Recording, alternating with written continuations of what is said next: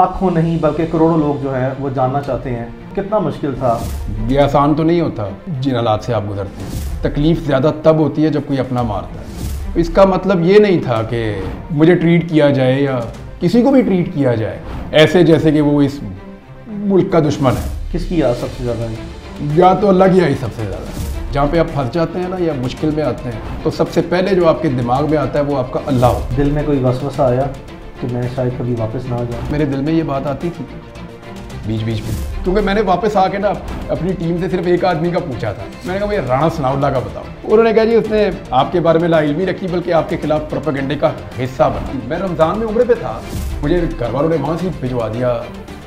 तो भाई जो फेवरेट एक दो लोग हैं उनको भी वहाँ भेज दिया कि इसको वहीं टिकाओ। जो आज एक पोलिटिकल पार्टी पीटीआई के साथ हो रहा है ना ये पहली दफ़ा इस लेवल पे मामला गया। ये जिस चीज़ के साथ दूसरी दफ़ा होना है ना किसी ने बॉदर भी नहीं करना इमरान पाकिस्तान में कोई पसंदीदा सहाफ़ी हो?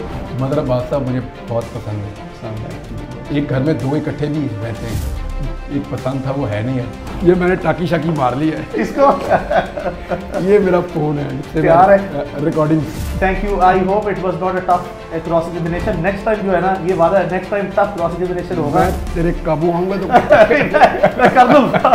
कर दूँगा।